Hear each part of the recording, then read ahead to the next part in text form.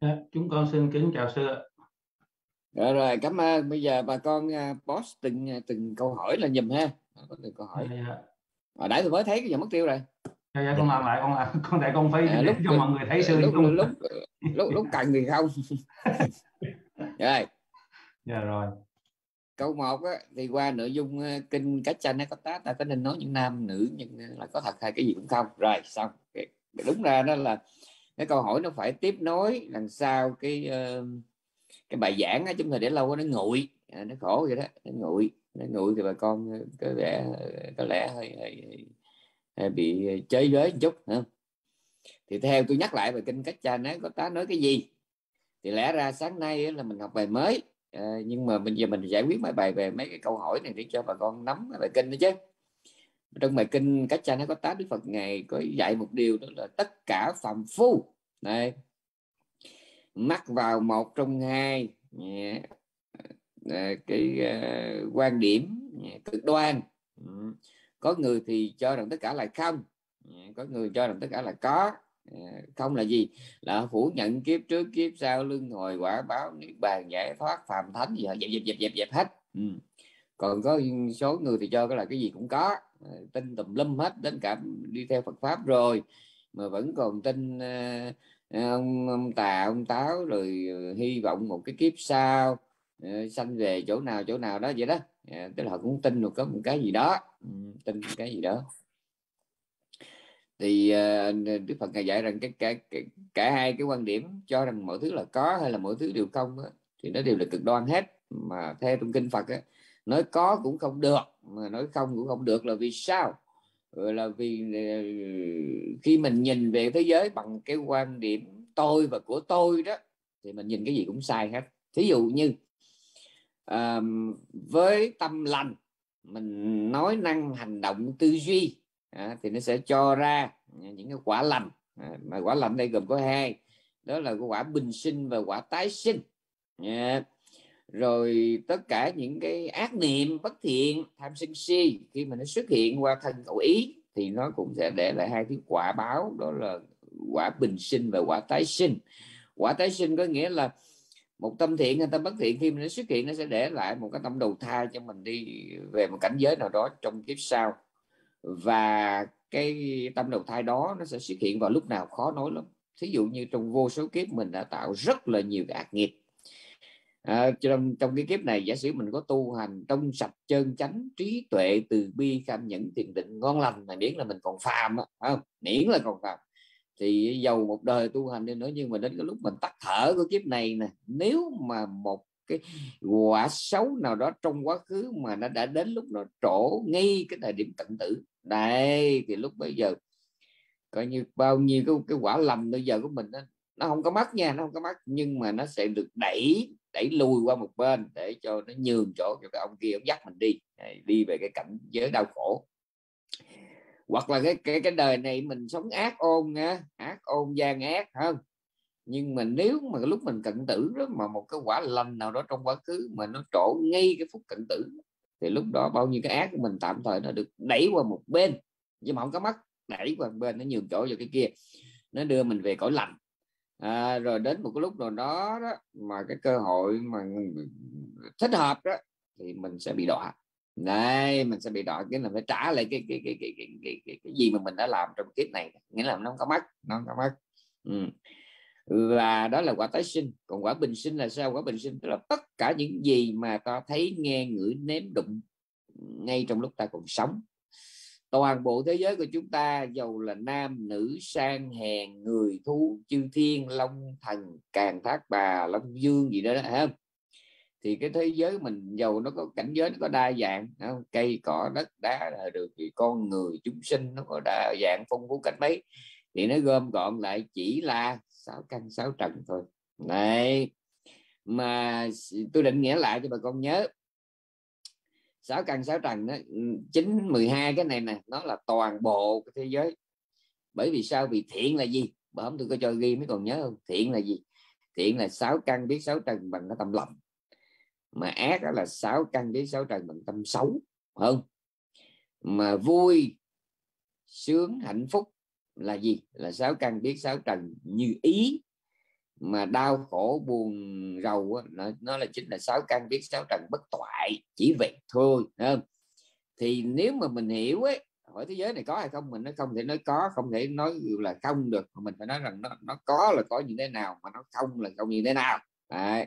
nó có ở đây tôi có nghĩa là có tâm thiện thì nó sẽ có quả lành có tâm bất thiện thì nó sẽ có quả quả, quả khổ Ờ, buồn đau không? Thì cái được gọi là chúng sinh ấy nó chỉ là sự hiện hữu của sáu căn sáu trần thôi.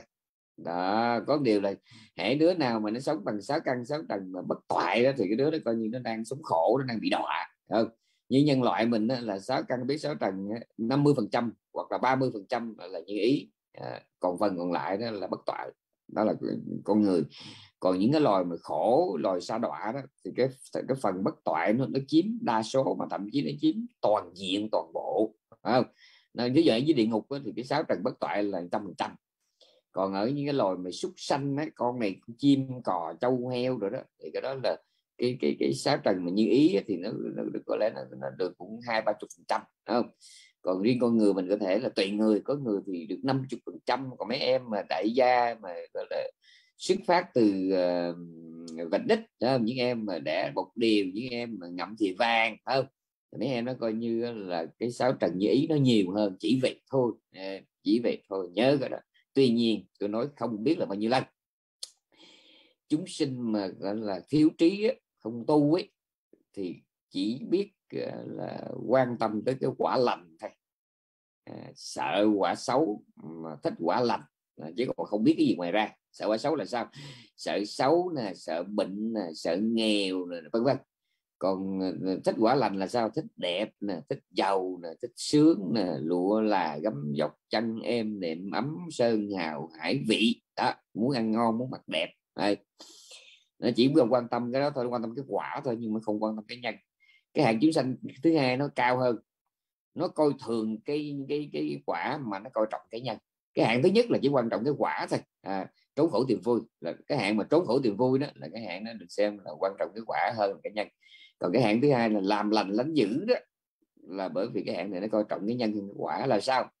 Có nghĩa là nó giàu nó sống trong cảnh giàu nhưng mà nó không có màng nó vẫn tìm cách nó đi tu à, hoặc là khi nó gặp khổ cái lòng nó cũng không có bận tâm thì vẫn chuyên tâm nó tu. Nó lấy cái khổ làm cái động cơ động lực để nó tu. À, nó coi cái khổ với cái sướng không quan trọng mà quan trọng là thiện thì ác này nhưng mà cái hạng thứ ba mới ghê cái hạng thứ ba là cái hạng mà coi như là nó thấy rằng sướng khổ buồn vui thiện ác đều là mù sương. À nó thấy cái sướng khổ là mù sương này đúng rồi cái hạng thứ hai cũng thấy vậy. Nhưng mà hạng thứ hai nó còn kẹt ở trong cái cái cái, cái nhân lành. Này nó tránh cái nhân xấu nó thấy đó là cái hay đáng hãnh diện. Và lúc nó làm nó nhân lành nó cũng thấy cái đó là cái hay đáng hãnh diện. Nhưng mà đến cái hạng thứ ba thì không. Hạng thứ ba nó vẫn tiếp tục à, coi thường thì quả xấu quả lành nó coi thường. Nó, nó, nó, nó gặp cái khổ nó không, không động tâm nó gặp cái sướng nó không có bị xa đọa. Vậy nhưng, nhưng mà nó khác hạng thứ hai chỗ là nó nó là, là nó, nó tránh ác nó tránh trong một cái ý thức. Đây là cái chuyện không nên vậy thôi. Và khi nó hành thiện nó cũng hành thiện trong một ý thức đây là chuyện nên thì nó làm vậy thôi. Nó chỉ làm để mà nó hướng đến cái giải thoát. À, cái hạng thứ hai nó là lánh ác hành thiện để gì? Để trốn khổ tìm vui còn hạng đầu tiên là tệ nhất, trốn khổ tìm vui mà bất chấp thiện ác. Còn hạng thứ hai là trốn khổ tìm vui mà hành thiện lánh ác. Còn hạng thứ ba, hành thiện lánh ác nhưng không phải để trốn khổ tìm vui mà là để chấm dứt toàn bộ thiện ác buồn vui. Đó, như vậy thì toàn bộ đời sống của mình nó chỉ là sự hiện hữu của sáu căn, sáu trần, chứ ở đây không có ông A và B nào hết. Đây, nhớ cái đó. Và cái điều quan trọng nữa mình hiểu cái cái cái cái, cái người mà ờ, nhân thiên cái người mà sinh ra trong sự sung sướng mình chỉ hiểu rằng là cái danh sắc này nó xuất hiện với cái sự tác động của, của quả lành. Còn mình nhìn cái chúng sanh đau khổ thì mình biết rằng cái danh sắc này nó xuất hiện trong cái sự tác động của quả xấu chỉ vậy thôi và và cái này quan trọng. Nếu mình hiểu tất cả cái ngọt ngào trong đời này nó chỉ là cái quả báo của nghiệp lành xưa thì được. Nhưng mà mình nghĩ rằng mình mình nhìn cái ngọt ngào mình mình chỉ nghĩ ngọt ngào này là nó là vô thường vô ngã không? Và nó là cái quả báo của cái nghiệp lành xưa thì được. Nhưng mà nếu mình thấy cái ngọt ngào này là cái để hưởng thụ là sai nếu bà con có nghe kịp cái này tin trên đời này có hạnh phúc tên có nhưng mà có làm sao thứ nhất đó là đồ rác. À, có hạnh phúc chứ có có nhan sắc không? Có có đẹp có xấu có. Nhưng mà có là có như thế nào? Thứ nhất là có trên mặt tục đế thôi. Nó, nó chỉ đẹp trên mặt tục đế chứ còn xét về mặt rốt ráo đó, thì đẹp xấu nó đều là đất nước lửa gió hết. Này nhưng mà trên mặt tục đế thì có. À, có nhưng mà cái cái cái cái đẹp đó là nó là quả của nghiệp lành quá khứ. Hiểu như vậy tiếp tục tạo nghiệp lành. Chứ còn nếu mà mình hiểu đây là cái ngọt ngào để mà mình hưởng thụ là sai. Tôi nhắc lại lần nữa. Nhìn cái ngọt ngào để hiểu rằng đây là quả của tâm lành ngày xưa thì được nhưng mình lấy nhìn cái ngọt ngào mà để thấy nó là cái để mình hưởng thụ là sai. À nhớ giống như một đứa bé. Nó nhìn nó thấy cái gì nó thấy cái gì mà màu mè rồi cái gì mà ngọt ngọt béo béo bùi bùi thơm thơm mềm mềm nó bỏ vào miệng đó. còn mình người lớn mình cũng có. Mình biết cái thơm này là của, của dứa nè của vani nè của dầu chuối nè. Cái ngọt này là của đường nè cái béo này là của dầu mỡ nè mình biết biết cái gốc gác cái xuất xứ của nó nhưng mà nói rằng cái gì cũng cũng tổng vào mồm thì không. À, phải nói phải nói như vậy người lớn mình hiểu mình ăn uống rất là cẩn thận rất là cẩn thận. Tôi có biết có những tôi có những người quen ờ, bên cạnh tôi gọi là tôi cũng vẫn thỉnh thoảng gặp gỡ là họ có một cái chủ trương rất là nghiêm túc có nghĩa là một ngày như vậy đó cái lượng đường họ ăn vào là không vượt quá cái mức bao nhiêu đó. Muối là họ rất là hạn chế dầu mỡ là coi như zero không có ăn. Đấy. Và họ chỉ ăn toàn là cái đồ đồ, đồ như rau cải là ăn đồ hấp thôi. Ừ, cái gì cũng hấp được thì hấp. Chứ còn tránh cái chuyện mình nướng với chiên đó, mình người lớn biết nó thơm biết nó ngon biết nó bùi nó béo nó ngọt biết hết. Nhưng mà biết vì biết cái gốc nó ở đâu nó ra cho nên biết nó thơm biết nó ngon nhưng mà không có mê. Còn con nít thì không. Cái gì mà đẹp đẹp mềm mềm thơm thơm ngọt ngọt rồi nó giọng vô mồm nữa thôi chỉ ở đây cũng vậy. Không biết Phật pháp thì thấy cái ngọt ngào nó là cái để hưởng thụ. Còn cái người có biết đạo thì họ thấy cái ngọt ngào họ biết họ chỉ biết đây là cái quả của nghiệp lành đời trước.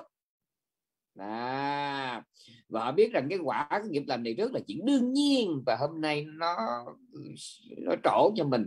Nhưng mà nếu mình cấm đầu mình hưởng cấm đầu mình hưởng quả lầm thì coi như mình đang kính đáo tạo ra nghiệp xấu tạo ra nhân xấu. Nhớ nha nhớ cái đó nha cái dòng luân hồi nó ngán ngẩm là chỗ đó, nó đáng chán là chỗ đó. Tạo nghiệp lành thì sẽ được quả lành nhưng mà khi được quả lành rồi mà cắm đầu gục mặt vô trong đó mà hưởng thì đó lại là nhân xấu cho kiếp khác nữa. Cho nên cái cái hành trình của bồ tát là gì? Nghiệp lành nào cũng tạo nhưng mà khi quả lành trổ ngày không màng ngày bỏ ngày lại dồn thời gian ngày tạo nghiệp lành khác. Cho đến bao giờ đó mà cái tiền nhà băng của ngài nó dư ra đến nước mà ngài đủ để thành phật thì thôi. Còn mình thì không có mình thì cứ mà, mà bán bánh mì lấy tiền mua bánh bao không à cái kiểu đó thì không khác nào bán bánh mì lấy tiền mua bánh bao. Tạo ra ba mớ nó, nó trổ một cái rồi là cái cắm đầu mà hưởng hưởng sạch bắt rồi xong bắt đầu là khổ. Rồi có lăn trôi trong mấy cõi đọa đó. Ừ, cho nên tôi nói nãy giờ tôi nói giống như lạc bè đó, nhưng mà cái câu trả lời nó là cái gì? Trong cái nhìn người phật tử có đẹp có xấu đúng. Trong cái nhìn tục đế thi thiết chế định có có đẹp có xấu. Nhưng mà mình chỉ hiểu ngầm đó, đó là cái quả quả lành ừ, của đời trước. Cái xấu là cái quả xấu đời trước cái khổ là quả xấu đời trước. Quả xấu của cái quả của nghiệp ác đời trước mà cái ngọt ngào hạnh phúc là cái quả của tâm lành đời trước. Chỉ biết vậy thôi. Còn những hình thức nhân thiên là nó chỉ là cái quả lành của đời trước. Còn cái phàm thánh là sao? Phàm thánh là cái hành cái người nào trải qua cái hành trình à, hành trình nãy tôi nói đó hành thiện mà chỉ mong để chấm dứt thiện ác hành thiện lánh ác mà để mong chấm dứt thiện ác. Chẳng hạn nó khi đủ duyên chứng thánh. Mà chứng thánh là gì? Cũng là sáu căn sáu trần. Nhưng mà cái sáu căn của họ là nó sạch sẽ chỉ vậy thôi. Họ gặp cái sáu trần họ không có bị bất mãn hay là đam mê không bị cuốn hút theo. Nó thánh khác bằng chỗ đó. Còn phàm thì không. Thiện thì lười làm mà quả lành nó thì khoái hưởng. À, quả xấu thì sợ mà nhân xấu thì khoái làm. Cái, cái phàm của nó, nó nó lạ như vậy đó. Đấy thích làm nhân xấu nhưng mà sợ quả xấu. Lười làm nhân lành mà khoái hưởng quả lành. Đấy, nhớ nhớ như đó. Như vậy thì ờ, hỏi về chứ trong cái nhìn của Phật pháp nói chung và trong cái quan điểm của bài kinh này ờ, bài kinh cách cha cách tá là thì xấu đẹp nam nữ ờ, phàm thánh có mà nói có nhưng mà giới điều gì mới hiểu? Có là có làm sao? Có chỉ là sự có mặt của sáu căn sáu trần thì được.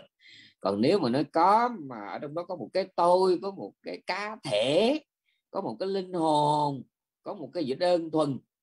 À, là sai không có gì đơn thuần cái gì cũng là sự lắp ráp đó. có mà có trong sự lắp ráp thì được. Mọi thứ do duyên mà có có trong hình thức lắp ráp rồi mai này hình thức cái khối tổng hợp đó cũng do duyên mà mất đi. Đó, nhớ cái câu đó không?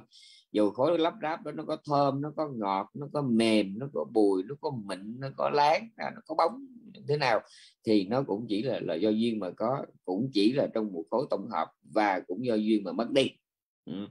khi mà mình nhận thức như vậy thì tha hồ mình muốn nói cái gì có cũng được, nhưng mà với điều có như vậy đó có trong cái cái hai cái điều kiện nó một là do duyên, do do vô số duyên tác động mà có, hai là chỉ có trong hình thức tổng hợp, chứ không có cái gì là một nhớ nha, không có gì là một ví dụ như mình nói một bữa ăn ngon, một bữa ăn ngon làm sao mình mình mình mình, nếu mà mình viết ra ra, ra, ra tiếng Anh tiếng Đức thì hoặc là tiếng Bali thì mày một bữa ăn ăn ngon mình thấy chữ một là mình thấy số ít rồi. Nhưng mà thực ra nó không hề có cái gì là một để có được một bữa ăn ngon á thì nó có tới vô số cái điều kiện. Thứ nhất là được nêm nếm vừa với cái khẩu vị của mình. Này cái bữa ngon của thằng tèo chưa chắc là bữa ngon của thằng tí à thứ hai mâm chén chỗ ngồi phải ok sạch sẽ thông thoáng chứ còn ngồi mà nó bí hơi hầm hì hôi hám không? Rồi chén dĩa thì nhớt nhợt tanh rình muỗng nĩa cong vòng dơ hay chưa có rửa sạch. Chỗ ngồi cái ghế sụp xịt à, lung lay thì bữa ăn nó mất ngon. Nó phải là sao sao như cái dĩa bánh xèo muốn cho ngon là phải giòn. Cái nhân phải làm sao? Rau phải sạch rau phải giòn rau phải mới rau phải ngon rau phải tươi. Đấy, mà rau phải phong phú rồi cái đĩa mình đựng bánh xèo phải đĩa làm sao cái chén đựng nước chấm phải làm sao cái đôi đũa mình dùng nó phải làm sao từng cọng rau nó phải làm sao chỗ ngồi rồi nhiệt độ trong phòng nhiệt độ chỗ mình ngồi ăn nó phải làm sao. Bụi nhiều quá mùi hôi nhiều quá ăn bên lề đường ăn bên đống rác cũng khó ăn. Ví dụ như vậy. Thì để rồi chưa hết mình lúc đó mình phải khỏe không bị đau răng không bị nhức đầu không bị chóng mặt không bị buồn nôn. Và lúc đó cái phone mình nó không có như có, có tăng tăng tăng tăng mấy cái tin nhắn buồn chứ còn mà Ừ, cái gì cũng hoàn hảo mà tự nhiên cái tin nhắn để cái ben cái nó báo một cái tin buồn gì đó cái là cái, cái bánh xèo đó tôi như hết ngon luôn. Các vị nghĩ tôi có đúng không? Muốn có được một cái miếng bánh xèo mà đưa vào mồm của mình mà để mà thưởng thức khó lắm. Nhiều người nói ô tôi có tiền tôi muốn ăn thì ăn. Sai sai sai bé. Tôi đã nói một một ngàn lần rồi tôi nói sai. Đừng có tưởng là một nụ cười trên môi môi của mình răng của mình miệng của mình mình muốn cười cười. Sai nó nhức đầu có cười được không? Chống mặt đau răng nó có cười được không? Nhà có chuyện cười được không? Vợ chồng con cái cha mẹ tiền bạc tài sản địa ốc chứng khoán. Tình hình thế giới tình hình xã hội dịch cúm covid không? Mấy cái đó mà nó nó nó nó, nó đổ ập đầu mình mình có cười nổi không? Không. Đứa con của mình nó có chuyện mình mới vừa tính chấm như nước chấm mà đứa con nó khóc ré lên là nó khỏi ăn luôn. Thấy chưa? Hoặc là mình đang tính ăn mà mình, con chiếc con ta nó chạy sát bên mà nó bóp kèn lớn cái mình cũng hết ăn luôn à, đấy hết ngon. Cho nên mình phải hiểu vạn ngữ nó là do duyên mà có và nó có trong cái sự lắp ráp. Thứ nhất là nó do vô số duyên mà có mà thứ hai nó có trong thành tích tổng hợp của các điều kiện. Và ba là sau một cái thời gian tồn tại nó cũng sẽ do các duyên mà nó mất đi. Nó nó tới một mình phải có tới một tỷ duyên để có được niềm vui nỗi buồn. À, và và cũng có tới một tỷ duyên để khiến cái, cái niềm vui nỗi buồn đó nó mất đi à, một tỷ chứ không phải là một tỷ nghĩa đen á chứ không phải một tỷ là nghĩa bóng một tỷ nghĩa là chín số không á tới một tỷ là một tỷ cái điều kiện. À, để có cái niềm vui nỗi buồn mà tôi thường tôi hay nói nói gọn ấy tôi nói gọn ấy tôi nói cái đau khổ và hạnh phúc trên đời này nó có hai nguồn thôi. Một là do có cái gì đó mà mình đau khổ. Hai là do không có cái gì đó mà mình đau khổ và hạnh phúc cũng có hai do có cái gì đó mà mình hạnh phúc và do không có cái gì đó mà mình hạnh phúc tôi xin bảo đảm một nghìn phần trăm là chỉ có hai cái hạnh phúc đó và hai thứ đau khổ đó thôi. Điều mình phân tích cách nào nó cũng là, tức là do đọc với thằng chú vậy đó, do có cái gì đó mà ta đau khổ, do không có cái gì đó mà ta đau khổ. Một cái là do có cái gì đó mà ta đau khổ, hoặc là do không có cái gì đó mà ta đau khổ. Rồi cái thứ hai, do có cái gì đó mà ta hạnh phúc và do không có cái gì đó mà ta hạnh phúc. Ví dụ như nhan sắc, tiền bạc, sức khỏe, uy tín, tiếng tâm, quyền lực, tình yêu có mấy đó là hạnh phúc. Còn mà nếu không có mấy cái đó là đau khổ, đúng không? Rồi có những cái có mà nó làm cho mình đau khổ như là bệnh hoạn nợ, nần pháp, luật thù oán người thì dị dạng, dị tướng, người bị nốt ruồi, bị lan ben, bị bệnh ngoài da, bị bệnh nội tạng, phụ khoa, phụ sản, tùm lum hết. Tất cả những cái đó nó đều là những điều kiện, mà chỉ cần có nó là mình chỉ có khổ đúng không? Rồi khi mà hiểu tan hoang như vậy đó, thì mình hiểu rằng ba cái vụ mà đẹp, xấu, nam, nữ, trời, người, phàm, thánh. Mình muốn nói có rồi không? Tùy. Nhưng mà nó có như vậy đó, nó có với tất cả những cái rối rắm, phiền phức, tế toái và hệ lụy như vậy đó. Và ở đây dứt khoát, không hề có một cái gì đáng để mình gọi là tôi hay là của tôi hết. Nó là đồ ráp. Và cái thời gian mà nó tồn tại chỉ là chớp tắt thôi. Nó là trong từng sát na, chớp tắt chớp tắt chớp tắt chớp tắt chớp tắt này khi mình có nghĩ đến một cái ý niệm bền vững này, đẹp bền sướng không? Thì tôi và của tôi thì với bốn cái riêng ở mộng tưởng đó thì mình mới thấy thế giới này nó có chỗ để mình nắm. Này mình nó mới có chỗ để mà mình bất mãn mình đẩy ra hoặc là kéo vào. Đây nhưng mà khi mà mình ờ, hiểu đó rốt ráo bằng cái thánh trí của thánh nhân ấy, bằng cái tuệ giác thánh nhân ấy thì thánh nhân thấy nó sanh diệt thì biết là nó sanh diệt biết, nhìn nó, biết nó đang sanh nhìn biết nó đang gì. Biết nó là là quả của cái nghiệp lành, biết nó là quả của nghiệp xấu. Biết cái nỗi khổ này nó đến từ nhân xưa hay là nhân nay. Cái khổ này là đến từ nhân nay là sao? Là do mình thiếu chánh niệm, mình để cho phiền não nó xuất hiện. Hoặc là mình biết đây là cái quả của tiền nghiệp quá khứ. Rõ ràng trong hiện tại mình đang rất là ok mà tại sao mình bị cái này? Đó rõ ràng là quá khứ. Hoặc là do một cái bất cẩn từ một cái quá khứ gần ừ.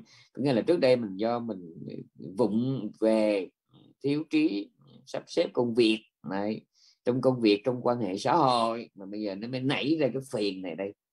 Thế nói chung là trước cái đắng trước cái ngọt thì bậc thánh biết rất rõ nó từ đâu nó đến và biết tất cả đều là không bền.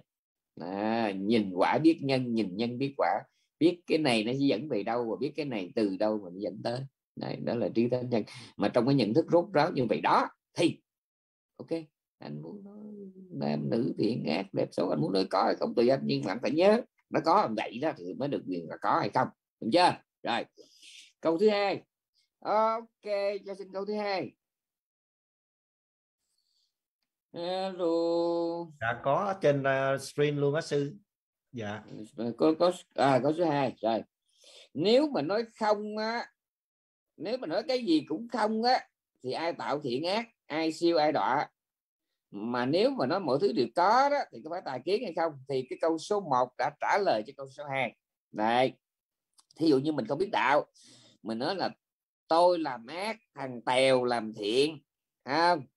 Tôi làm ác thì tôi sẽ bị khổ, thằng tèo làm thiện thì thằng tèo nó được hạnh phúc. Đó là cách nghĩ của người người mà chưa có biết rút ráo không? Nhưng mà trong tinh thần của Phật pháp thì không có cái tôi mà không có cái thằng tèo, thằng tí nào hết mà nó chỉ là sự có mặt. Cái này nói đó là chuyên môn một chút. Nó là sự có mặt của tâm mà tâm sở thôi. Tâm, mỗi tức là mỗi con người nó có hai phần. Phần hồn và phần xác. Thì phần xác tức là máu, xương, da, thịt, tức là đất, nước, lửa, gió đó. Còn cái phần hồn của mình nó gồm có hai. Đó là tâm và tâm sở. Tâm tức là cái biết, không thiện ác không? Còn cái tâm sở thì nó gồm có hai. Đó là những cái thành tố tâm lý tiêu cực. Ừ gồm có 14 và thứ hai là thành tố tâm lý tích cực gồm cái 25 thì tâm thiện là gì? Tâm thiện nghĩa là cái biết đơn thuần. À, nó cộng với 14 cái thành tố tâm lý tiêu cực thì nó thành ra là tâm ác tâm xấu tâm bất thiện. Còn cái cái biết đơn thuần mà nó cộng với 25 tâm sở 25 cái thành tố tâm lý tích cực thì nó được gọi là tâm lành tâm thiện tâm tốt. À, thì ở nơi nào mà tâm thiện xuất hiện thì sẽ để lại hai cái quả như hồi nãy tôi nói. Quả bình sinh và quả tục sinh cho kiếp sau. Quả tục sinh tức là cái tâm đầu thai đi về cõi này tới cõi kia. Còn quả bình sinh có nghĩa là sau khi đi vào cõi đó rồi mình khổ hay là sướng? À, sướng nhiều hay là khổ nhiều? Thì đó gọi là quả bình sinh. À, và tất cả khổ và sướng đó trong cái buổi bình sinh nó thổi bình sinh nó được thể hiện qua cái gì? Qua sáu sáu tầng. Lại thấy được cái mình thích hay phải thấy cái mình ghét. Nghe được cái mình thích hay phải nghe cái mình ghét. Ngửi được mùi mình thích hay phải ngửi cái mùi mình ghét. À, cái lưỡi nếm được cái vị mình thích hay phải nếm cái vị mình ghét. Cái thân xúc chạm với cái cái, cái, cái xúc giác mình đó, nó biết cái, cái đối tượng mình thích hay là xúc giác biết cái đối tượng mình ghét. Rồi cái đầu của mình suy nghĩ mình có nhiều chuyện buồn hay có nhiều chuyện vui. Đấy thì tất cả là sáu trần. Thì ở đây không có ai ai không có ai không có ai làm chuyện làm mát mà chỉ có những cái thành tố tâm lý. À, nó giống như thế này nói gì bà con nghe có hiểu nhưng mà tôi nói gì bà con nghe bà con hiểu. Tức là một cái một cái đứa bé mà nó không có học quá chắc thì nó nghe trong đầu nó nó nghe nói cái ly nước chanh thì nó chỉ nó chỉ nghĩ là ly nước chanh là cái ly nước chanh thôi. Nhưng mà mình có học mình biết. Trước hết cái ly bằng cái gì cái đó? Ly nhựa. Mình biết từ đâu mà nó ra cái gọi là nhựa rồi mình thấy cái ly thủy tinh thì mình biết từ đâu nó ra cái gọi là ly thủy tinh. Chẳng hạn như, từ vô số hạt cát mà nó làm nên thủy tinh. Đây là mình biết một chuyện. Chuyện thứ hai, cái gọi là nước chanh ấy, nó gồm có cái gì? Nó gồm có nước nè, có đường nè, có nước cốt chanh này có người như tôi nó tự bỏ một tí muối. Mà nước ở đây là cái gì? Mình biết là nước là H2O nó là hydro với oxygen chẳng có gì hết. Rồi cái gọi là chanh hay là đường thì trong đó nó gồm có có cái gluco hay là nó gồm có axit nó còn có vitamin C B6 B1 B12 B40 B41 gì đó ví dụ như vậy. Thì mình biết rất rõ à thì ra cái gọi là ly nước chanh á nó vốn không có mà nó là sự cộng hưởng sự lắp ráp sự ghép nối của vô số thành tố để điều kiện. Đấy, nhân tố thành tố điều kiện nguyên liệu vật liệu đấy nó gồm hết mấy cái này lại.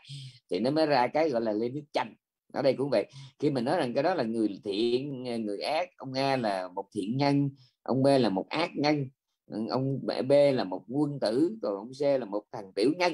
Thì cái đó khi mình có một cái ý niệm như vậy là ờ, mình đã mắc vào cái thường kiến này. bởi vì thường kiến nó có ba. Tức là tin vào sự có mặt của một cái tôi vĩnh hằng, tin vào một thế giới vĩnh hằng và tin vào một đấng chí tôn vĩnh hằng sáng tạo muôn loài đó là tài kiến là thường kiến mà trong cái đó theo cái quan điểm Phật pháp ấy, thì ờ, là không có một cái tôi nào hết, mà nó là chỉ là những đơn tử, những đơn bào, những phân tử, những nguyên tử, những điện tử, những quang tử, những proton, những photon, những electron, những neutron. Nó lắp ráp lại, nó làm nên cái mình gọi là vật chất, chỉ vậy thôi. Còn ở trong cái chúng sinh thì nó gồm có cái gì? Nó gồm có tâm và tâm sở. Chỉ cái mấy cái này nó cộng lại, nó làm ra cái gọi là chúng sinh. Đấy khi mà mình sống nhiều với những thành tố tâm lý tiêu cực thì được gọi là, được đời nó gọi đó là thành tiểu nhân thành gian ác. Còn khi mình sống với những thành tố tâm lý tích cực ờ, như từ bi, trí tuệ cam nhẫn, thiền định, chánh niệm, lắp lắp lắp lắp thì được gọi là quân tử, là hiền nhân, là người lành. Chỉ vậy thôi. Hiểu như vậy thì được.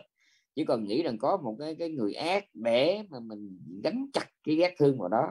Nó có một cái người thiện để mình gắn chặt cái ghét thương vào đó là sai.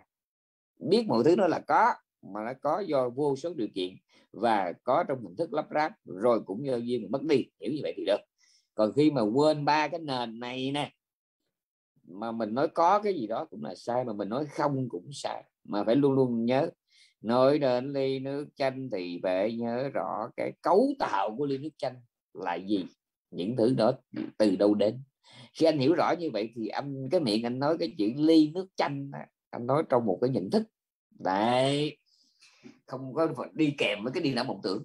Mà khi mà anh nói tới ly nước chanh mà anh mù mờ, anh mù mờ, anh mơ hồ, anh cái đó đâu nó ra, thì đó là anh đang sống với tin ở một tưởng. Các bạn nghe kịp, chỉ vậy thôi.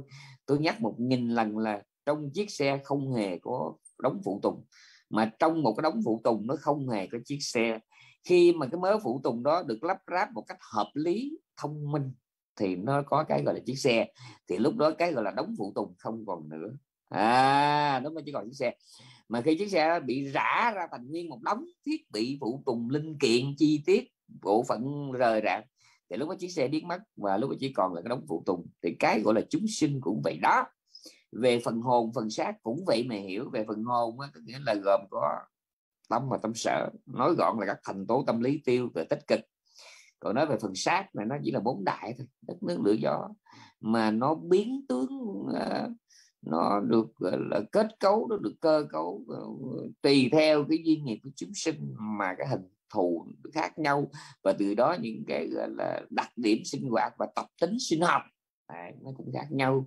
Và dựa trên những cái đặc điểm sinh học và cái tập tính sinh hoạt đó mình mới bèn gắn lên đó những cái từ ngữ như là con con chim con cò con ong con kiến con chim con bướm con rắn con voi con trăng con ờ, chuột. Thì mình thấy nó đủ thứ, nhưng mà thật ra nó chỉ là cái thành phần giống nhau y chang thì có nghĩa là vẫn là về xác thì vẫn là bốn đại đất nước lửa gió, còn về phần hồn thì chỉ chỉ là ừ, tâm và tâm sợ thôi. Gồm các thành tố tâm lý thiện và bất thiện có một điều là con đứa thì cái thành tố tâm lý tích cực nó nó chiếm phần trăm hơi nhiều. Còn con đứa cái thành tố ờ, tâm lý tiêu cực nó chiếm cái phần trăm nó hơi bị nhiều thì cái đứa nó bị xem là bất thiện chỉ vậy thôi. Mà đứa nào mà cái 25 nó nhiều thì cái đứa đó sau này nó là sao ta? Sáu trần bất toại. Nó đẻ ra đó. Cái sáu căn của nó chuyên vô biết sáu trần bất toại. Còn cái đứa nào mà 25 nó nhiều thì nó đẻ ra cái sáu căn của nó nó thường biết cái sáu trần nhĩ. À, mà toàn bộ cái thân xác của nó nó, nó là giáo hoàng nó là thủ tướng nó là chủ tịch gì đi nữa đó thì nó nguyên cái con người mấy chục ký của nó nó chỉ gồm với sáu căn với sáu trần tôi dám bảo đảm một nghìn phần trăm như vậy đó. Này, dầu chúng ta có cái thân phận có cái hình hài như thế nào đó thì cũng chỉ là sáu căn sáu trần thôi. Này, cho nên nếu mà nói cái gì có cũng sai mà nói cái gì đó không cũng sai mà tất cả phải được hiểu rằng thế nào là thiện thế nào là ác thì đứa nào sống nhiều với 25 nữa đó là thiện đứa nào sống nhiều với 14 đó là ác. Chỉ đơn giản là y chang như là một ly nước cống và một ly nước sạch vậy đó. Cái nào cũng là ly nước nhưng mà cái thành thành hóa chất trong đó nó khác nhau. Và từ đó mình gọi là ly nước cống. Chứ, dưới một cái nhìn rốt ráo khoa học thì không hề có cái gì gọi là ly nước cống không có. Mà nó là những thành tố hóa chất rời rạc. À, nó lắp ráp lại nó gặp gỡ trong một cái không gian rỗng là cái ly. Thì mình gọi đó là cái ly nước cống. Rồi một ly nước lọc nó là một ly nước mà hội đủ những cái điều kiện ờ, thanh khiết tinh khiết thì mình gọi đó gọi là ly nước lọc chỉ vậy thôi nha rồi cho xin câu số 3 cho xin câu số 3 dạ. Mà tôi nói mà tôi rung muốn chết luôn tôi biết tôi nói là bà con có hiểu không? Rồi lời Phật dạy là giả hay thật? Rồi bởi vì nếu nói mọi thứ nó là đồ lồ lắp ráp không á thì kinh điển có đáng tin hay không? À thì mình nhớ thế này. Đấy. Cái gọi là Phật á, là sự kết tinh à, của 25 tâm sở kéo dài dài dài dài dài, dài, dài trong một cái thời gian đặc đẳng à, đó là nói theo khái niệm của thế gian mình gọi là thời gian này còn nói theo Adidam thì nó không không có thời gian dài ngắn mà nó chỉ có sự xuất hiện nhiều lần mà thôi. Cái cái 25 của một vị Phật à, là trước khi ngài thành Phật cái 25 nó xuất hiện trong rất là nhiều lần. À, cái chữ rất nhiều đây mình phải gạch dưới. Mà nói theo thời gian nó là hàng mấy chục đại kiếp. Còn mình á, mình tu cà rích cà tan xìu xìu ảnh ảnh đầu ơ ví dầu không? Quẩn thì tu còn không quẩn thì dẹp khỏi tu. Hồi thì giác an hồi thì gian ác. Đấy. thì cái kiểu đó là mình thấy khác Phật. Và như vậy Phật là gì? Mình phải hiểu.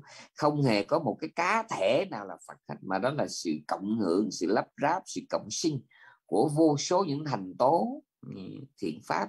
Mà nói rắn rỗng ra nó rộng nó, nó trắng ra đó là 25 tâm sở lầm. Mà nó được lặp đi lặp lại vô số lần với uh, vô lần vô số lần trải qua những thử thách mà nó vẫn tiếp tục có mặt cái cái này phải là gạch dưới. Với vô số lần gặp thử thách và cám dỗ mà cái 25 nó nó vẫn không có bị mòn mà càng lúc nó càng dày. À, thì cái đó được gọi là mình nói thì cái từ ngôn ngữ ngoài là thời cái đó gọi là quá trình huân huân huân tu huân tập. Đây mà mà ở đây có hai cái chuyện quan trọng cái 25 á, của mỗi người mình muốn thành Phật là mình phải vượt qua hai cái cửa cửa tử. Một là vượt qua cám dỗ hai là vượt qua thử thách. Cám dỗ là sao có nghĩa là có nhiều khi chỉ vì một cái ngọt ngào nào nào đó mà mình không tiếp tục tu được nữa không tiếp tục sống với 25 nữa. Có có có có. Có nhiều cái hấp dẫn nó nó làm nó, nó dụ mình nó dụ khỉ mình nó cho mình không tiếp tục 25 nữa. Và có nhiều cái cay đắng nghiệt ngã đó mình gọi là thử thách đó, nó cũng làm cho mình cũng không tiếp tục 25 nữa. Này 25 25 tâm sở tích tích cực ấy. Mà muốn thành Phật ấy là cái 25 đó nó phải đủ mạnh để mà nó vẫn gọi là hừng hực ờ, lừng lững hùng hục lao về phía trước bằng tốc độ ánh sáng và bằng cái cái lực đẩy của một nghìn ngọn núi. Nó phải vậy đó vượt qua mọi trở ngại và cám dỗ. Đấy.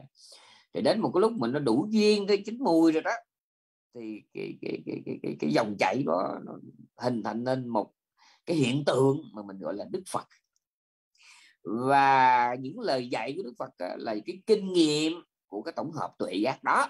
Bữa nay là tôi nói hơi nhức đầu quá nha. Đức phật là một tổng hợp tuệ giác một tổng hợp của các phước lành. Phước lành đây là nghĩa là gì? Là 25 và quả của 25 Đấy, mà ở cái mức độ top tip top ngon nhất superior uh, best one tốt nhất không có gì tốt hơn nữa. Và lời dạy của ngài là cái sự chia sẻ những kinh nghiệm mà cái hành trình của cái hành trình 25 đó. Của cái 25 đó. Và cái thiện của ngài lúc bây giờ trước khi ngài thành Phật cái 25 đó nó tự nó hình thành ra một cái, cái gọi là thói quen thói quen thiện cực mạnh. Nó mạnh đến mức mà có thể đè bẹp và xô đổ xô ngã tất cả những cái chướng ngại và là thử thách và cám dỗ trên đường. Còn mình thì sao? Cái 25 mình nó yếu cái 25 mình nó ngài là một ngọn ngài cái cái cái, cái thiện của ngài cái, cái, cái thói quen thiện thói quen 25 ngài hồi nãy tôi có nói đó nó lao đi về phía trước với tốc độ của tốc độ ánh sáng 300.000 km một giây. Và với cái lực đẩy của hàng nghìn ngọn núi giống giống như một cái tiểu hành tinh một ngôi sao một thiên thể nó lao đi cái thiện nó đè bẹp tất cả mọi chứng ngại dù thử thách hay cảm dỗ. Còn cái thiện của mình nó, nó giống như là một sợi tóc vậy đó. tức là gió thổi là nó bay gió thổi là nó bay nó yếu. Đấy, đấy. cho nên với một cái, cái lực đẩy kinh khủng như vậy và với một cái chất lượng một cái uh, là nội dung hoàn hảo như vậy thì ngài có những cái chia sẻ cho mình. Thì cái chia sẻ đó chính là lời dạy của ngài. Chính ngài nói chính ngài nói trong trường bộ uh, bài kinh tâm minh. Các đấng như lai sử dụng ngôn từ thế gian nhưng không có chấp chặt vào đó. À còn chúng sanh là có một bài thơ hay thích có một bài văn hay một cuốn tiểu thuyết thích viết được cuốn sách viết được cuốn từ điển viết được cuốn biên khảo làm được cái luận án thích và gắn liền cái tôi vào trong đó. Còn ngài thì không. Chuyện cần nói thì ngài nói. Nhìn vào cái bản tâm của chúng sinh mà thấy cái đứa này nó hợp với cái gì nó nghe cái gì mà nó được khai ngộ thì bèn nói cái đó cho nó nghe. Và đối với một đứa khác thì ngài cũng nội dung đó mà ngài nói một cách khác. Là nhưng mà cái quan trọng nhất đó là kinh nghiệm tuệ giác của một cái hành trình dài thâm thẳm. Và bây giờ ngài chia sẻ lại cho mình. À, và nhớ tất cả lời Phật đều là phương tiện ngôn ngữ mà được gọi là tác động từ cái kinh nghiệm tuệ giác. Và nhớ cái đó. Và mình ôm khư khư uh, một cái bài kinh mình cho đây là chân lý ngoài ra là hư vọng là xài. Cái đó là xài đó không? Lời Phật là kinh nghiệm sống động mà linh hoạt thực tế thực tiễn không? Phải cần đến sự thực nghiệm thực chứng. Chứ còn mà mình ôm khư khư là Phật giống như kiểu ờ, thần thị bùa mà mê thần chú đó là trái quất không? Đức Phật ờ, hiền thánh nói chung nó giống như một cái lu nước mình đến để mình múc nước mình uống chứ không phải mình quỳ mình lạy cái lu à, không? Phải là mình ngồi mình kế mình cái lu mình chụp hình cái mình đem mình cúng face Đấy, mình chụp cái hình mình đem lên mình, mình, mình phây cái mình ở đây cái tôi đã từng ừ, ngồi cạnh cái lu nước này. Nhưng mà tới hôm nay 63 năm chẳng chưa hề biết trong cái lu của dưới cái gì là thua à, mà bà con mình cái dân chơi phây đệ tử phây tín đồ phây là vô địch rồi đó này à, vô địch cái là chụp hình là cho thấy là tôi đã là ở bên cạnh cái lu này là ba chục năm bốn chục năm 18 năm. Và trong một cái duyên hạnh ngộ vào một ngày mưa gió tôi đã tấp vào chỗ này tôi đã biết cái lu này cái lu này cái lu nổi tiếng mà nói cho đã cuối cùng lu đựng gì mình biết. À, mà cái thánh hiền là cái lu nước. Đấy là mình phải múc trong đó mình uống mình nếm. Đấy chứ còn mà thánh hiền phải là cái lu để mình chụp hình cũng phê đấy. đấy cho nên nếu mình hiểu như vậy đó thì cái lời Phật dạy là mình tự mình hiểu giả hay thật. Và một chuyện quan trọng nữa là ở trong cái chú giải của cái bộ gọi là cà thao bát thuốc này, tức là bộ A Từ Đàm số 5 ấy. Ừ. trong đó có một cái ví dụ rất là hay. Ừ. ví dụ nó nói thế này. Các vị biết cây nhánh đu đủ không? Cái cây đu đủ nó có cái lá cái lá nó gồm nhiều cái nhánh cái lá đu đủ nó đặc biệt lắm. Nó gồm nhiều cái cọng. Cái cọng nó bị rỗng nó thì các ngài mới nói rằng ờ, là là cái cái cộng đu đủ nó không có giá trị kinh tế. Không không có giá trị vật chất không có giá trị thương mại. Mà đồng thời bản thân nó cũng không có giá trị sử dụng. Bán không được mà xài cũng không được đem chậm cũng không được mà đem bán cũng được. Có nhiều thứ đem bán này không được nhưng mà đem chậm được đem ờ, dùng trong việc này việc kia được. Còn riêng cái, cái nhánh đu đủ thì thấy nó to vậy đó nhưng mà nó rộng đem bán thì không ai mua mà đem xài tôi không biết xài cái gì mà đem chậm củi thì nó cũng tệ lắm tệ lắm. Bị này nó nó rỗng mà nó mỏng lắm. Ừ, nó khô rồi nó, nó, nó, nó giống như nó mỏng giống như một cọng cọng sậy vậy đó. Ừ. thì trong chú giải mới nói cái cọng đu đủ á cái cái cọng đu đủ nó vô dụng nó không có giá trị thương mại cũng không có giá trị sử dụng. Nhưng mà mình hoàn toàn có thể dùng nó mình cầm nó để mà mình chỉ cho người ta thấy cái đống vàng được. Ừ, Ví dụ như cái tay mình nó ở xa quá mình gối không tới. Mà trước mặt mình ba bốn đống đó đống nào cũng đen đen đen đen hết đất cát ờ, sạn sỏi lâm mà trong đó có đống có vàng đống không có vàng có đống thì có thuốc nổ rồi đống thì có chất độc đống thì có vàng. Thì bây giờ mình mình mình mình mình chòm không tới. Thì bắt buộc mình phải lấy cái nhánh mình lấy cái nhánh cây mình chỉ cho người ta biết. À, cái đống đó là cái đống số số, số đống số 3 này nè. Đó, cái đống đó đó, đó cái đống này đống này có vàng mà cái cái cái cái cây mà mình dùng để chỉ cái đống vàng cái cây đó cái gì cũng được kể cả cái nhánh đu đủ. Ở trong trong cái bộ nó nói vậy đó. Kể cả cái nhánh đu đủ nó vô dụng toàn tập.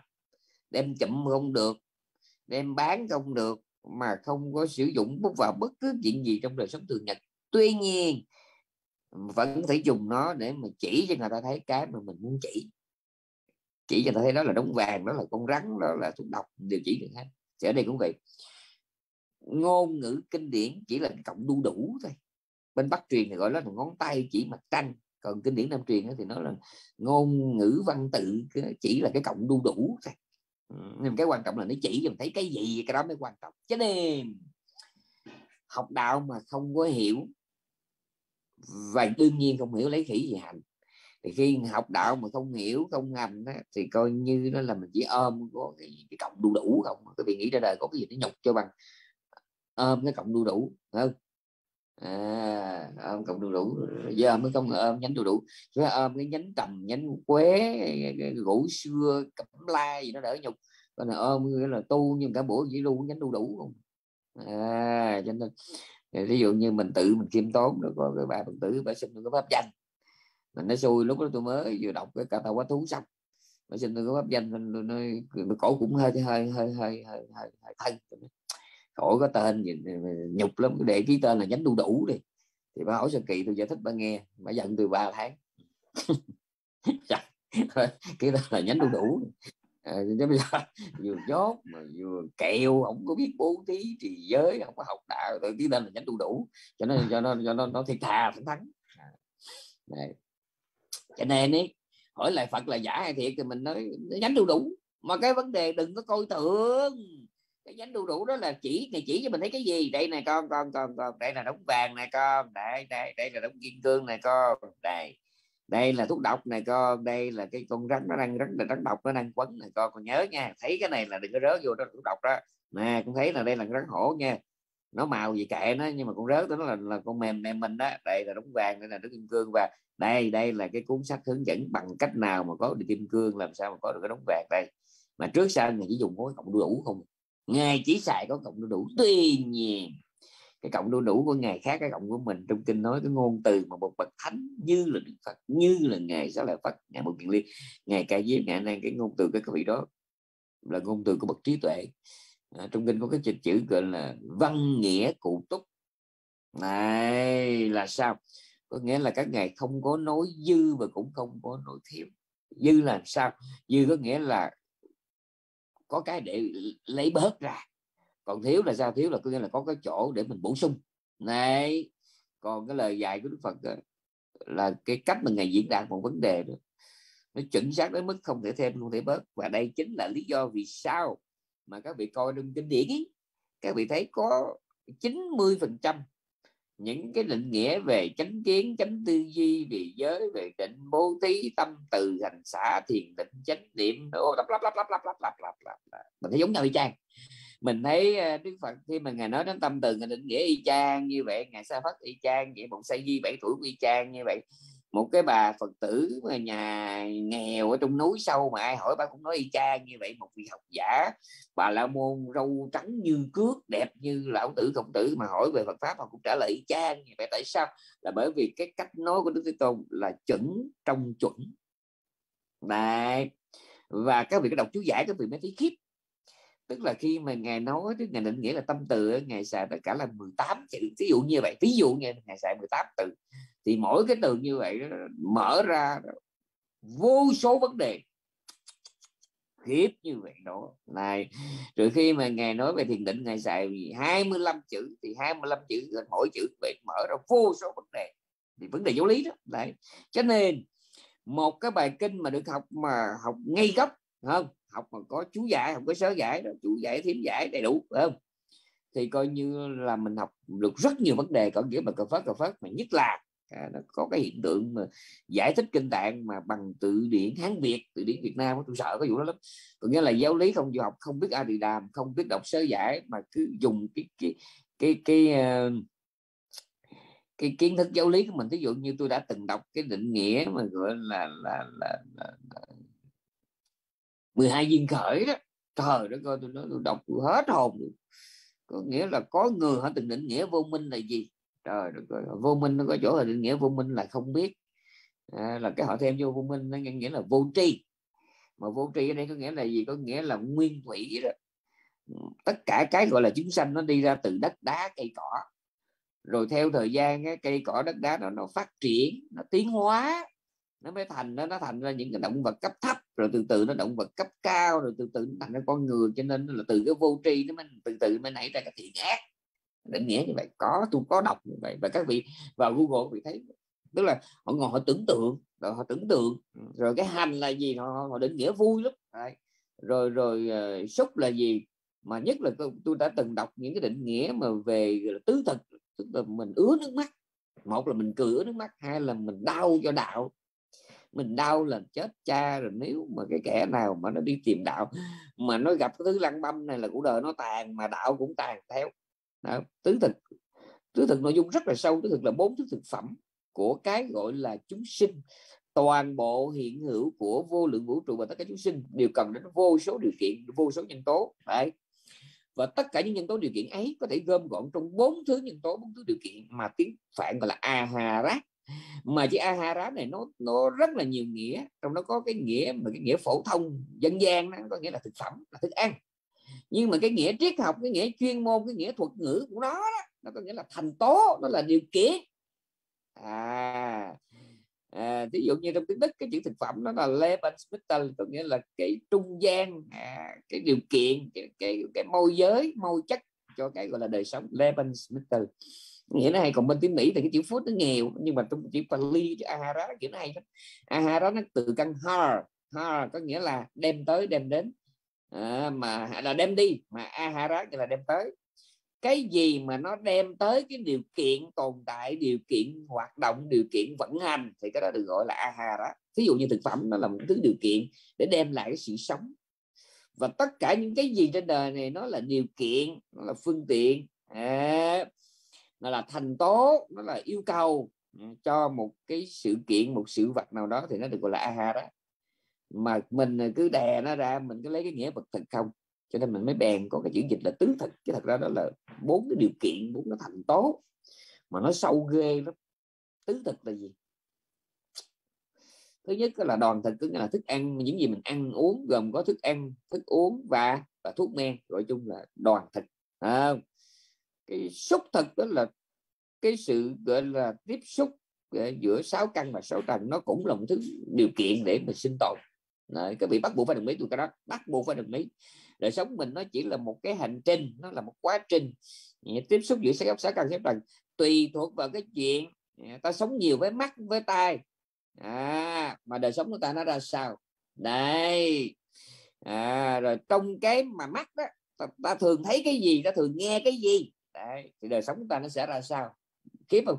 Tức là chuyện thứ nhất là cái cái chúng sanh nó sống nhiều với mắt hay là sống nhiều với tai? Đó là một chuyện. Mà trong cái đám mà nó sống nhiều với mắt á thì cái đứa nó thấy nhiều cái gì? Đó, thì tùy thuộc vào nó thường thấy cái gì đó thì đời sống nó khác đứa kia.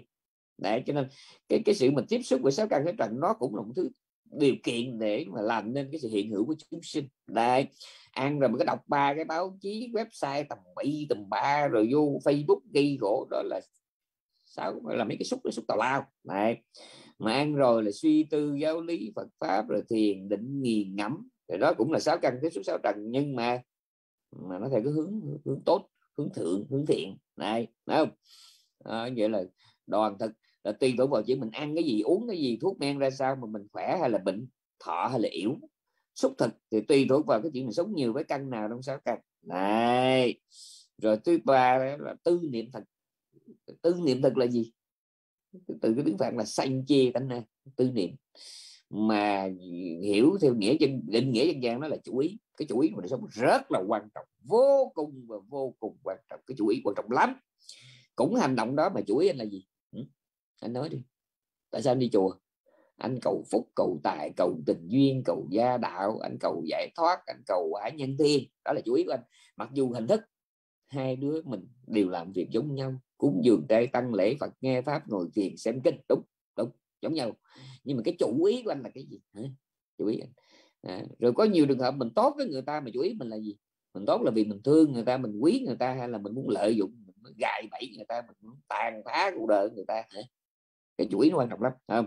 cho nên chính cái chủ ý nó cũng là một cái điều kiện đó là một cái, thì, uh, ờ, tác động một cái nhân duyên để làm nên cuộc sống của chúng ta. Cái chủ ý rất là quan trọng cho nên nó cũng là một thứ thực phẩm. Và cuối cùng đó là thức thực đoàn thực xúc thực tư niệm thực và cuối cùng là thức thực. Thức thực ở đây là nó có hai nghĩa tùy chỗ mà hiểu, có chỗ nói rộng thức thực, tức là toàn bộ đời sống tâm lý của mình. Này, mình sống nhiều với tâm thiện tâm ác. Nhưng mà cũng có trường hợp mình phải hiểu thức thực chính là 19 cái tâm đầu thai. Đấy, tùy thuộc vào cái chuyện mình đầu thai bằng cái tâm gì mà mình đi về cảnh giới nào. Và ngay cả trường hợp hai đứa cùng đầu thai vào một cảnh giới con người nhưng mà đứa nó đầu thai bằng cái tâm có trí và đứa đầu thai bằng tâm không có trí là cuộc đời cũng khác nhau. Nhớ nha nhớ cái đó nha. Đây là mình thấy chỉ riêng đề tài đó thôi chỉ riêng cái, cái, cái tứ thực đó. Mà mà mà định nghĩa nghèo nàn làm làm tiêu tùng đi cả một cái vấn đề giáo lý cực kỳ quan trọng. Là do đâu? Do dốt mà ra. Đấy. Và trong khi đó mình thấy cái lời Phật đó, ngày chữ mà ngày xài nó là chuẩn trên chuẩn chuẩn trên chuẩn dễ sợ như vậy à, cho nên hỏi lời Phật là thiệt hay là giả thì mình nói ok đó nói rồi đó muốn hiểu sao hiểu. Nếu cần nói lời dạy là nhánh đu đủ cũng được nhưng mà nhớ nhánh đu đủ đã được sử dụng một cách thông minh thành thạo. Đấy, hợp lý Đấy. À, còn phàm vô mình nhiều khi tùy hứng diễn giải vấn đề theo cái tư kiến mà tư kiến của mình là luôn luôn nó gắn liền vào đó vô số những cái gọi là nền tảng tâm thức. Ờ, cái mình nói phải dựa trên nền tảng công thức mà với vô số những dấu ấn cá nhân. Mình ghét cái gì, mình thích cái gì, mình coi nặng cái gì, mình coi nhẹ cái gì tất cả những cái đó nó làm nên cái gọi là nền tảng nhận thức. Và từ cái nền tảng nhận thức đó, cái ngôn từ mình sử dụng, cái phương thức mà mình diễn đạt, này, cái cái cái chuyện mà hướng dẫn nhận thức cho người khác, tất cả những cái đó của mình nó đều có vấn đề hết, vấn đề hết. Và đa phần chúng sinh khi đi tìm đạo, không để ý cái này cứ mê ông thầy đó về một lĩnh vực nào đó. Như trong kinh nói à, có cái hạn đến với sư phụ vì khô sapama á là đến vì cái tiếng tâm của sư phụ. Thứ hai là rupapama á là đến vì cái ngoại diện của sư phụ. Thấy mặt mũi ngon lành. Thứ ba là lưu các cấp á là đến vì cái hạnh tu của sư phụ. Thấy sư phụ tu cái hạnh nào thì hay hay. Và cái thứ tư đó là hâm mấp đó tức là coi sư phụ dạy cái gì? Coi sư phụ dạy cái gì? Và cái con người của sư phụ của sư phụ thực hiện là cái gì? Sư phụ rao giảng cái gì? Và sư phụ đang sống ra sao? Nói gì và làm gì? Ừ, cái đó mới quan trọng không? Mà đa phần mình thì mình không biết cái đó cho nên ý, mình không chú ý nên mình gặp cái cộng đu đủ nào mình cũng nhào theo hết. Đấy. nhưng mà thực ra cái cộng đu đủ nó muôn đời nó là cộng đu đủ. Ngôn từ muôn thở nó chỉ là ngôn từ nhưng cái quan trọng nhất là nó được dùng để ám chỉ cho cái gì? Và nó được phát biểu bởi ai? Đó chính là lời Phật. Ok. Rồi số số số số mấy ta? Số mấy rồi câu số số số số số bốn. Câu số bốn. Rồi. Nếu hiểu mọi thứ là vô ngã thì mất hết hứng thú trong mọi việc có nên chăng? Câu này nè. Đấy.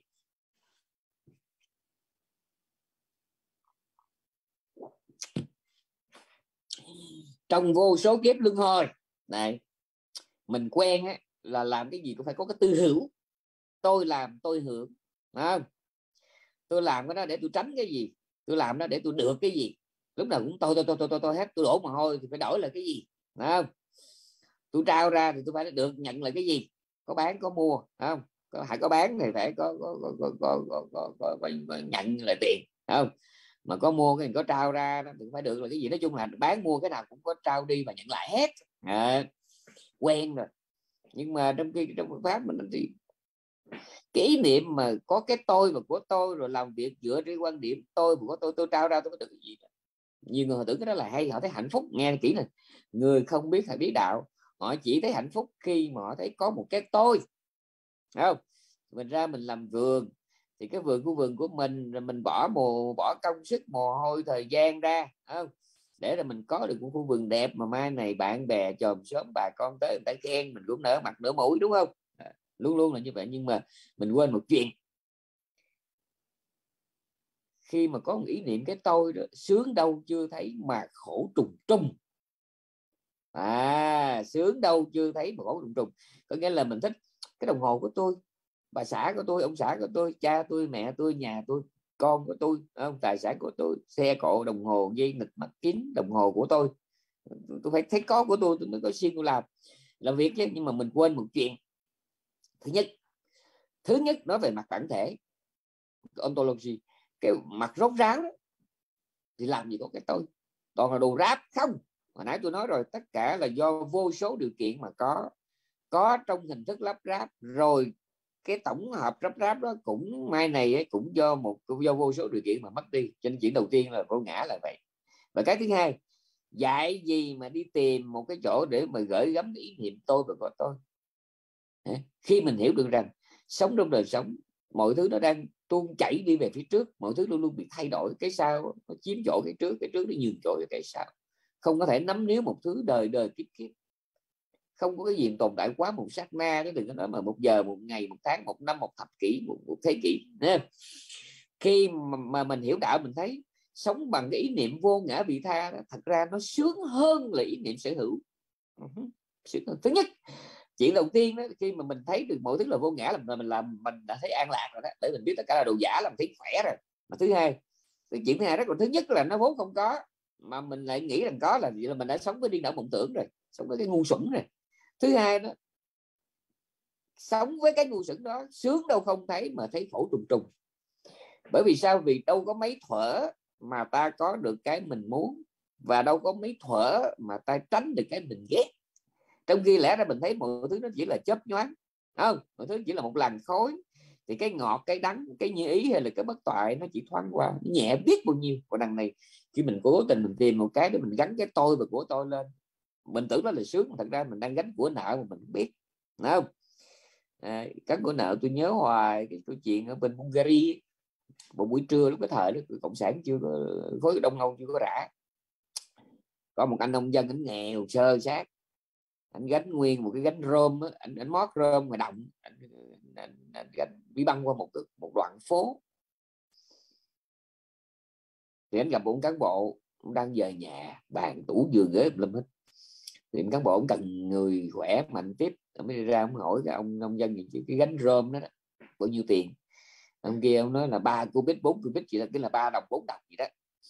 Thì ông cán bộ nói tôi trả ông gấp đôi nếu mà cái này 5 đồng tôi trả 10 đồng được không? Ông ông ông ông, ông, ông nông dân nó được quá gấp đôi là được rồi mà ông cần tôi đem đi đâu? Nó không tôi mua không phải để mà mà, mà đem đi đâu hết mà tôi mua để ông luyện cái này đi. Ông nông dân ngạc nhiên lắm ông nói trong đời tôi, tôi lần đầu tiên tôi gặp một người mà bà trợ nhau. Không cứ nghe lời tôi tôi mua để ông luyện chứ không phải là tôi mua để ông đem về cho tôi. Tôi không có cần đóng rơm mà tôi cần con người của ông. Bây giờ ông đi vào ở trong chỗ tôi đó ông thiên tiếp dọn đồ ba cái bàn tủ giường ghế bên đây tôi dọn nhà mới nè. Này. Thì ông nông dân ông mới lấy cái số tiền mà ông túi mừng lắm. Nhưng mà ông đi đừng đổi ông đi đổi quay trở lại. Ông đi đổi cái quay là ông nhìn đóng rơm thì uh, cái ông ông ông ông ông ông ông, ông cán bộ hỏi nhìn cái gì? Đi nhanh nhanh lên cha hết giờ rồi. Các ông chế, tôi nhìn cái, cái nhìn cái cái gánh rơm. Các cán bộ hỏi gì có ở đâu nhìn? Tôi nói tôi tiếc. Họ tiếc cái gì? Tôi đã ông tiền gấp đôi. Nó tôi biết tôi biết. Bữa nay là đời tôi sung sướng. Tôi tôi gánh một gánh rơm mà tôi được tiền hai gánh rơm mà tôi sung sướng. Nhưng mà cầm vàng mà lội qua sông vàng rơi không tiếc mà tiếc cống cầm vàng. Một buổi một buổi trên đồng khô nắng cháy mà gom góp từng đó rơm quý. Đó là cũng là công khó của tôi. Mà bây giờ tôi đi tôi, tôi nhìn nó nằm ở bên lề đường tôi hình dung một cái cảnh một cái thằng nào đó mà nó khơi khơi nó có làm gì hết tự nhiên đi ngang nó lum được cái, cái gánh rơm rồi sao cái thằng nó đã quá còn tôi rồi ôi đúng đúng tôi biết tôi biết tôi biết tôi có được gấp đôi cái số tiền gánh rơm nhưng mà nó đau đau làm sao? Ừ, thứ nhất tôi đau chỗ là cái công mình tôi đem luyện bên lề đường. Rồi cái đau thứ hai là có cái thằng mắc dịch rồi đó tự nhiên nó đang nó đi bơ bơ đường nó không có công khó không có mồ hôi nữa tự nhiên lại đi nó, nó được nó, nó, cái khơi nó được nguyên cánh rơm lòng nó mới yên. Này cái câu chuyện đó quý vị có thể hiểu là chuyện gì tôi có biết à, chuyện ma chuyện cười gì đó chuyện nhân văn chuyện triết học gì tôi tôi không màng không mà riêng tôi tôi thấy ý này mình ngã và ngã sợ nó hay vậy đó. Này ngay vậy đó. Khi mà mình gắn vào đó một cái gọi là cái sự gắn ép về một cái tôi và của tôi nó làm cái vấn đề trở nên nặng nề hơn. Đấy, nặng nề hơn. Cho nên nếu có bị hỏi tôi là khi mà mình thấy mọi thứ là vô ngã rồi thì mình buông mình hết hứng thú mình không mình không có làm thì phải nói rõ. Tại vì quý vị có vấn đề bởi vì chỉ đầu tiên các vị không hiểu chữ vô ngã là gì. Thật ra nói vô ngã đây không phải là các vị làm học giáo lý rồi các vị mất đi cái tôi của mình. Mà học giáo lý để thấy rằng mình vốn không có cái đó. Buông cái ý niệm tôi mình có tôi để các vị bớt khổ, các vị sống vui hơn. Ví dụ như cái chết, mình tránh không có được. Mình học đạo không phải để mình cầu sống lâu, mà mình cầu cái thái độ bình thản, coi thường cái chết, coi thường cái già, coi thường cái bệnh. Chứ không có cái đạo nào mà dạy các vị đẻ ra mà không già già đẻ ra không bệnh đẻ ra không chết không có một cái đạo nào kỳ cục chỉ có dạy thế này chấm dứt phiền não để không còn tái sanh. Từ đó không già không bệnh không chết thì có. Chứ còn đã mang cái thân này là phải gọi là gọi là phải xử cụ tiếng Việt Nam kêu xử cụ là phải giải quyết cho xong đó ngay cả vị vô thượng bồ đề chánh thẳng chánh giác hơn mà đã trót mang cái thân ba mai hảo tướng là cũng phải gánh cái thằng nó đi đi cho hết cái cái, cái, cái quãng đời đó. rồi đến cuối cùng mình kiếm chỗ nào được thì ngày mới xả bỏ mà trong thời gian mà chưa xả nó nặng muốn chết luôn vậy đó. Phải ăn uống, tắm rửa, phải đói khát, nóng lạnh, rồi bị bệnh này, bệnh kia, tùm lum mét nhìn cái vấn đề người khác mình ở chỗ là ngày mang cái cái của nợ đó đi mà ngài không có khổ tâm với nó. Khổ thân thì ok. Hãy già thì có quyền bệnh, có quyền rên, có quyền nhất có quyền mỏi, có quyền nóng, có quyền lạnh, có quyền đói, có quyền khát ok. Thích thì chiều nhưng mà tâm của các đấng như là tâm của vị la hán nói chung thì vẫn vững dưng như là cánh nhạn ven trời như gió thổi qua lưới như là hạt cải đầu kia lại tâm nó không có dính vào cái cảnh đó. À, cho nên là mình hiểu ra lý vô ngã không phải là mình buông mất cái tôi mà là hiểu ra rằng vốn dĩ nó không có mà khi hiểu nó không có thì mình hành động bằng một ý thức. Vô ngã vị tha thì nó sướng gấp triệu lần à, ok cho xin câu ít rồi câu cuối cùng. Nếu sướng mà khổ không có thật thì ác không có thật. Rồi, hiểu. Nếu mà cho rằng tất cả đều là giả như vậy thì mình không cần quan tâm thì ác đúng không? Có đúng gì không? Dạ vừa đúng mà vừa sai. Vừa đúng mà là vừa sai. Đúng là sao? Có nghĩa là kể từ bây giờ, trước cảnh khổ, lòng không bất mãn. Bởi vì thấy nó là đồ giả. Mà trước cái cái quả lành vị ngọt, lòng cũng không đắm đuối không? Đó đó đó là nói về quả khổ đối với quả quả lầm và ác. Bây giờ nói về quả lầm với quả quả quả thiện. Bây giờ nói tới nhanh. Ngày xưa mình có lúc thì mình không biết thiện ác là gì sống như con thú. Sau đó mình biết gạo ba mớ mình ráng mình làm lành lánh ác làm là, là lánh ác thành thiện không? Để mà coi như là được ờ, để mà trốn khổ tìm vui. Bây giờ mình biết thêm một chuyện nữa là giàu khổ hay vui cũng đều là nổi trôi trong ba cõi sáu đường à, ngũ thú lục đạo. Vẫn tiếp tục hành thiện nhưng để không còn thiện ác buồn vui. Còn trước đây là mình hành thiện để trốn khổ tìm vui. Đấy, còn bây giờ thì là để không còn thiện ác buồn vui. Một chuyện nữa khi mình nói nó không có phải hiểu không có là sao? Không có cái thằng thiện không có cái thằng ác không có cái đứa sướng không có đứa khổ thì được. Nhưng mà cái thiện cái ác cái sướng cái khổ nó có thiệt chỉ có người khổ chứ không ai bị khổ. Chỉ có nguyên nhân tạo khổ chứ không có đứa nào tạo ra khổ. Chỉ có sự hết khổ chứ không có người thoát khổ. Chỉ có con đường giải thoát. Chỉ có sự hành trì con đường ấy chứ không có cái đứa nào tu hết nhớ cái đó, không có người ở đây không? tuy nhiên, cái chỉ không là đạo Phật nó không phải là nothing không phải nothing là không có. Mà đạo Phật là là là là là nobody, không có ai. Đạo, cái vô ngã nó là nobody chứ không phải là nothing nhớ nha nhớ nha. Mà ngày xưa mình không biết đạo, mình nghĩ chúng sanh là somebody, còn bây giờ mình nghĩ nó là something. À, bạn nhớ bao nhiêu đó mọi ngày xưa mình nghĩ nó là somebody, bây giờ nó là something. Nó một, là một cái gì đó thôi, chứ không phải là một ai đó. Và từ đó à, chỉ gọi là cái cái cái chữ không của đạo Phật đó là nobody, chứ không phải là nothing, không phải là không có gì. Cho nên bây giờ mình hỏi thiệt, tâm thiện nó cũng chấp tắt sanh diệt, tâm ác cũng chấp tắt sanh diệt rồi cái quả lành nó cũng chấp tắt sinh diệt, mà quả khổ cũng chấp tắt sinh diệt. Nhưng xin hỏi nhỏ bà con một câu, nếu sinh ra đời mà với các quả lành quá khứ, dầu cái nó cũng, cái gì cũng chấp tắt hết chấp tắt chấp tắt chấp tắt. Nhưng mà hết cái vui này nó chuyển qua cái vui khác, mình dễ tu hơn, mà sống nó dễ thở hơn, đúng không? Còn bây giờ là mình sống bất thiện, rồi sao sinh ra? Mình sẽ sinh ra với quả xấu. Quả xấu thì nó cũng chớp tắt, nhưng mà mà nó chớp xong nó ra cái khác y chang những khổ nữa. Các bạn hiểu tôi nói không? Nó cũng chấp tắt nhưng mà cái đắng cay này nó tiếp nối cái đắng cay kia thì hình như nó không nên. Này mà trong khi đó cái thành quả thì nó cũng chấp tắt nhưng mà cái ngọt ngào này nó tiếp nối ngọt ngào kia đó, để mình có điều kiện mình tu tập được tốt hơn và sẵn đây tôi nói luôn. Hôm nay bà con có điều kiện để vào ngồi nghe giảng cái này cũng là quả lành đó. Quả lành là sao? Các vị phải là người khỏe mạnh phải là người không gặp những vấn đề nghiêm trọng bà con mới đủ cái điều kiện mà ngồi đây mà nghe tôi không nói là nghe tôi là là, là nghe ờ, đạo cao siêu tôi không dám nói vì tôi có tôi không dám nhận nhưng mà có cái này dám là muốn có thời gian để ngồi yên nghe một cái gì đó kể cả đó là một bản nhạc thì mình cũng phải là người có phước. Chỉ còn nó đau đớn quằn quại rồi giật gấu vá vai rồi nợ nần rồi giang hồ kiếm tiền tạc sơn vẽ bậy mã tấu dâu găm hâm dọ rồi vợ đẻ con đau rồi ờ, bố mẹ có vấn đề Ờ, rồi làm sáng ăn trưa làm trưa ăn chiều nó người thì nan y tuyệt chứng được covid covid tùm lum hết làm sao có việc có thể ngồi nghe hết bản nhạc. Đừng nói là một bài giảng cả tiếng đồng hồ nha. Này cho nên à, là ok không có người ác không người thiện không người sướng không người khổ mà chỉ toàn là tâm và tâm sợ chỉ có sắc pháp thôi đúng. Nhưng mà khi mà mình làm thiện thì những cái thứ tâm và tâm sở và sắc pháp đó nó ít ra nó dễ chịu thôi. Tuy nó chấp tắt nhưng mà cái ngọt ngào này nó tiếp nối cái ngọt ngọt ngào kia mặc dù nó không có bệnh. À, còn cái mà làm ác tiếp tục làm ác thì ba mốt nó cho cái quả xấu cũng chấp tắt chấp tắt thôi nhưng mà cái đắng cay này nó tiếp nối đắng cay kia. Ok chúc các vị một ngày vui và hẹn lại kỳ sau. Dạ chúng con xin tri ân sư. Dạ chúng con hẹn